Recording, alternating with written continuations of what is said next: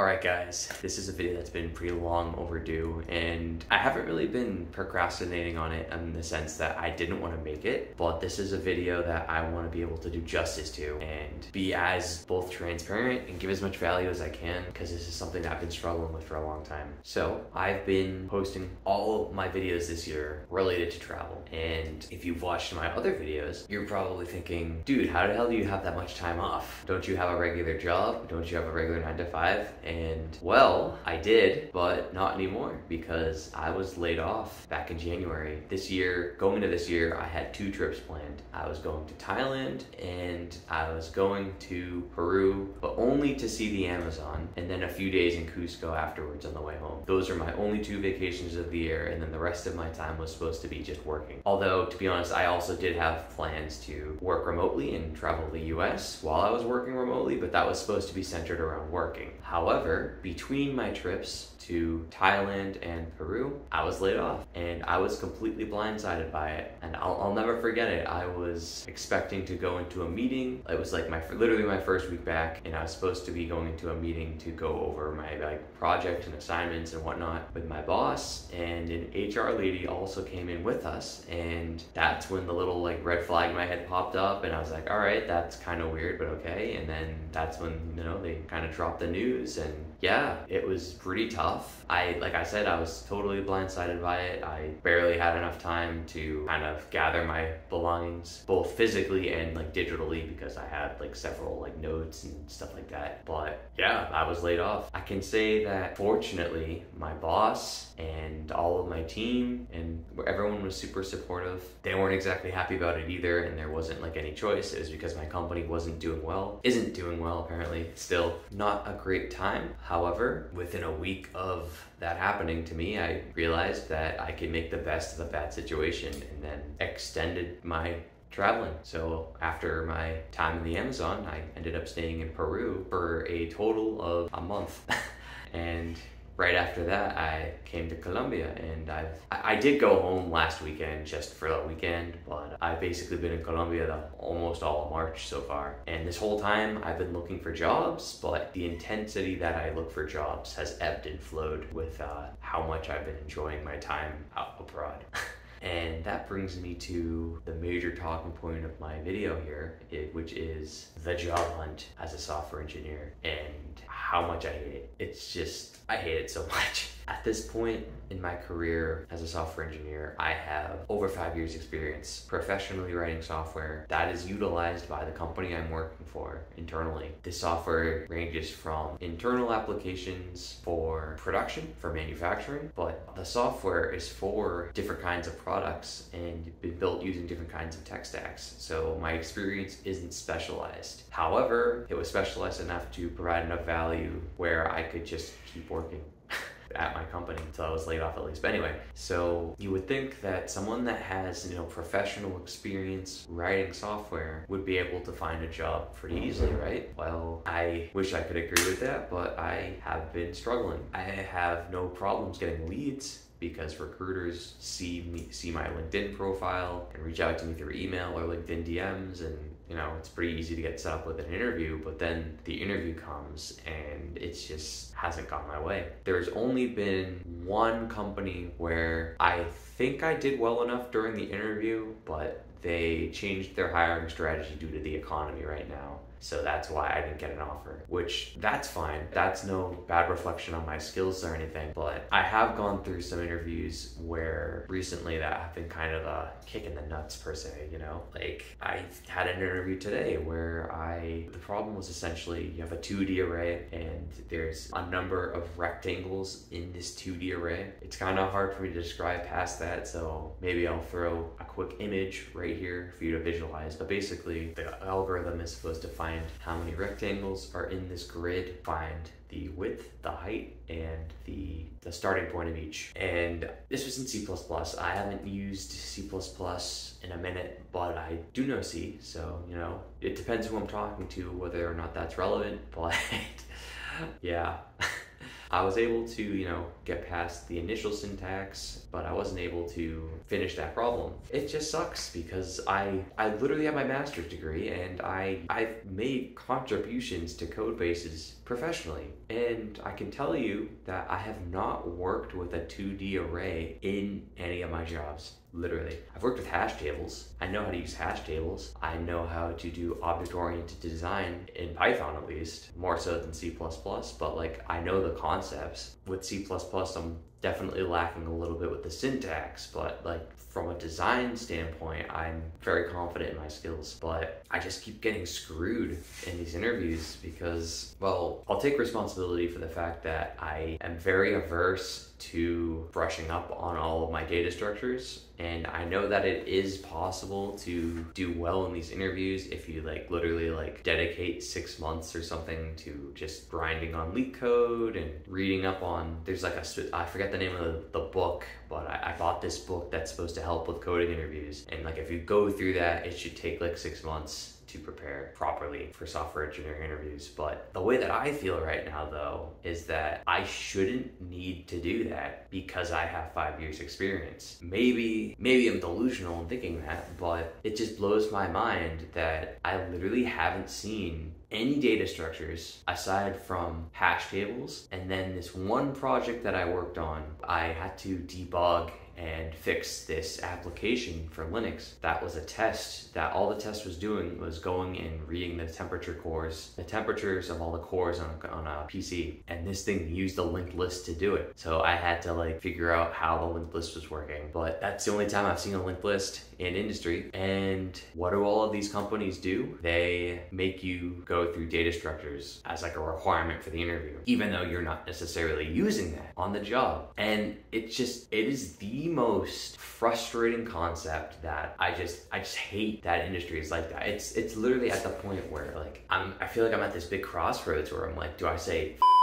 software engineering and just do something else? Do I go all in on my, my photography or, or do I still need to, is there still another chapter of software engineering left for me to complete? And I'm, I'm torn because like on one hand, software engineering, I, I don't hate the field. Like I don't hate the job. I, I like working. I do like writing code, at least in the environment of my last company. It was very supportive. I learned a lot. There was great like mentorship and stuff like that. Like there was room for professional development. And I did like writing code like I remember my days of Python development specifically, I was very proud of the projects that I was working on back then. Even though I was a test engineer and I no longer want to be a test engineer, the stuff that I was doing on Python was really cool. And I wouldn't mind doing that again. And also on top of that, I can use engineering to eliminate my the rest of my debt. Granted, the rest of my debt isn't a lot, but it's something that I want to make sure that is completely off my plate before I am staring down the barrel of starting my own business, even though I technically already have started my own business. But then on the other hand, I'm already 26, I'm not getting any younger, and I should just take advantage of the time I have now to do photography. In which case, I did already buy a course, but I'm still a little anxious about it. Just because the, the course is on travel photography, and I think it's a great way to hold myself accountable since I literally paid for this course. And in the final weeks of the program is when the uh, teacher is going to start to basically help us to make our money back. So, you know, that's cool because, you know, once I have that, then I can continue to ride the wave of that momentum. But yeah.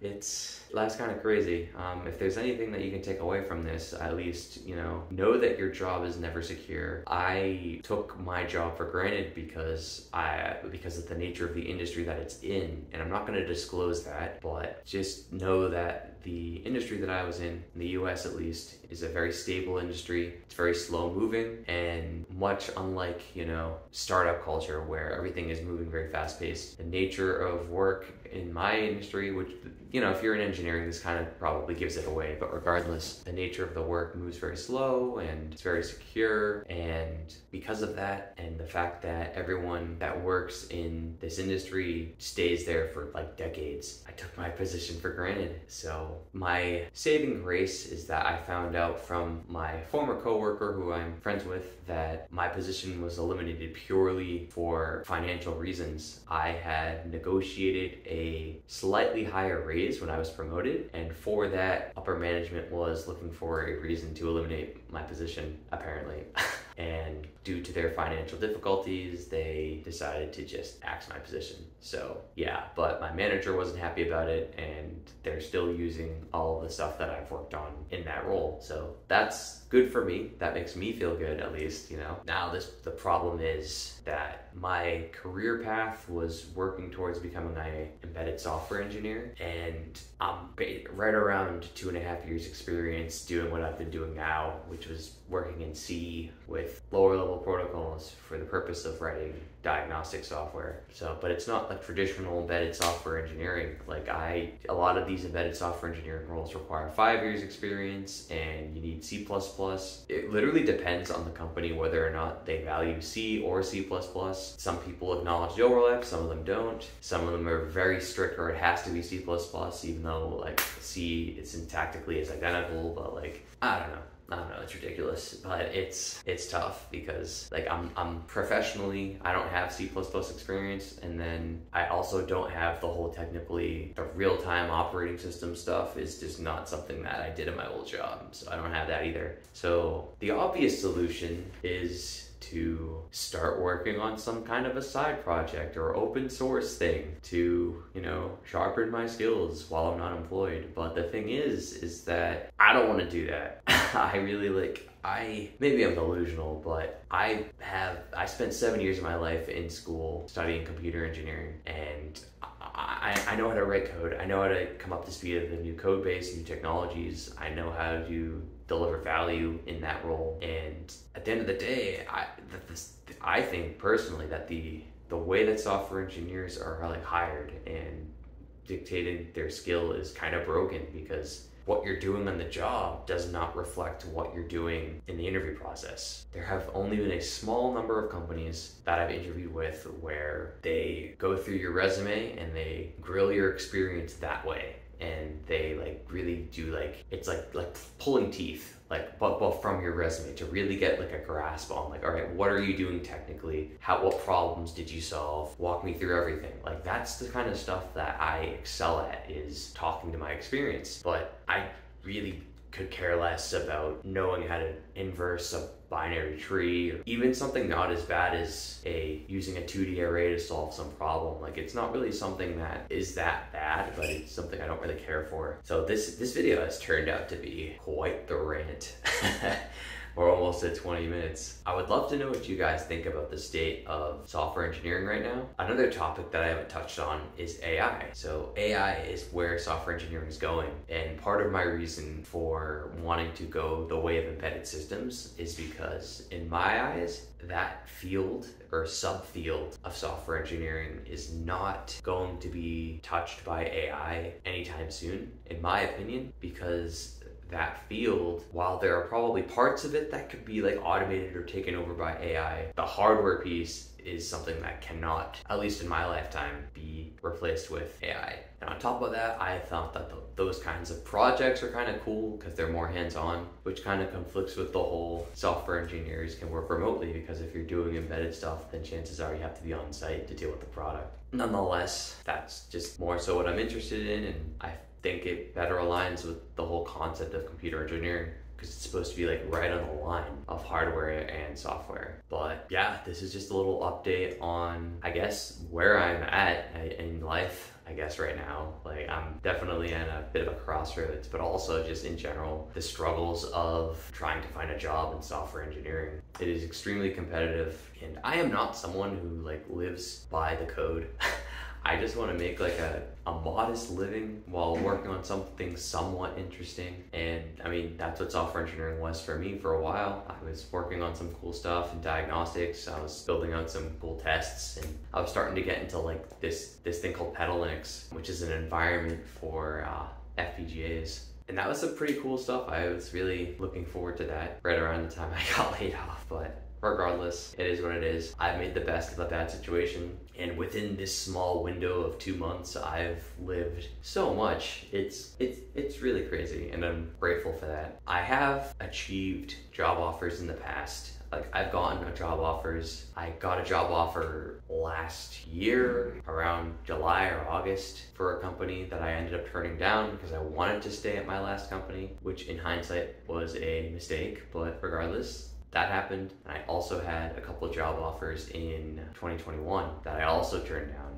And my takeaways from this whole experience for sure is to not stay with a company for longer than a few years because they will literally lay you off without mercy if the business requires it. And like it's not a decision that comes like from an emotional place because it was a business need. At least in my case, you know, every situation is different. I'm not really too torn up about it emotionally. Like I, I've accepted it, and I, like I said, I made the best of a bad decision, or not a bad decision, but a bad situation. But I don't know, man. The software engineering hiring process sucks, and I probably am delusional for thinking that I can somehow get another job without grinding on LeetCode for months, but yeah, I, I don't want to do that. So, at least in this moment in time, I'm trying to hold firm in the belief that my my years of experience counts for something and that the right company will find me or I'll find them. I hope you guys are having a great day. This video actually kind of drained me a little bit, so I'm gonna probably hit the hay after applying to a few more places. But yeah, if you made it this far, thanks for watching. Thanks for listening to me rant. I hope you got something out of this. If you are a software engineer and you have an opinion on anything I said, feel free to hit me up in the comments. I would love